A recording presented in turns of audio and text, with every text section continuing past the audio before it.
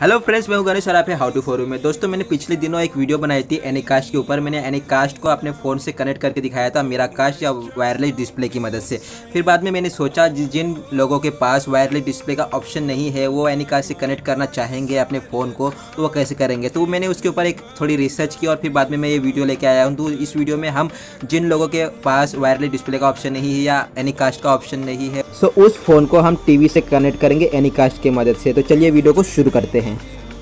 सो so friends ये है हमारे पास एनी कास्ट का नाम और यहाँ जो आगे है, ये है उसका password one two three four five six seven eight तो अब हम जो आपको ऐप दिख रहा है, ये आपको प्ले स्टोर से डाउनलोड कर लेना है। मेरे डिस्क्रिप्शन लिंक में लिंक भी दी हुई है, वहाँ से क्लिक करके आप इस ऐप को डाउनलोड कर सकते हैं। उसके बाद हम अपने वाईफाई को चालू करेंगे और वाईफाई पे पासवर्ड डालेंगे, जो यहाँ है वो। One two three four five six seven eight तो मैं इसे डाल देता हूँ सिंपली और फिर डालने के बाद हम कनेक्ट पे क्लिक करेंगे और कनेक्ट पे क्लिक करने के बाद अब हमारा फ़ोन जो है वो यानी से कनेक्ट हो चुका है। तो अब हम जाएँगे इस ऐप में और इस ऐप को सिंपली क्लिक करेंगे और फिर देखिए यहाँ कास्ट का ऑप्शन है। तो इस पर देखिए हमारा जो एनी कास्ट का नाम है वो आ चुका है। तो यहाँ पे हम सिंपली इस पर क्लिक करेंगे टच करेंगे तो हमारा जो फ़ोन है वो बिना परेशानी के वायरलेस डिस्प्ले के, बिना वायरलेस डिस्प्ले के, बिना किसी एनी कास्ट ऑप्शन के, मेरा कास्ट ऑप्शन के हमारा फ़ोन जो है टीवी से कनेक्ट हो गया है एक ऐप की मदद से।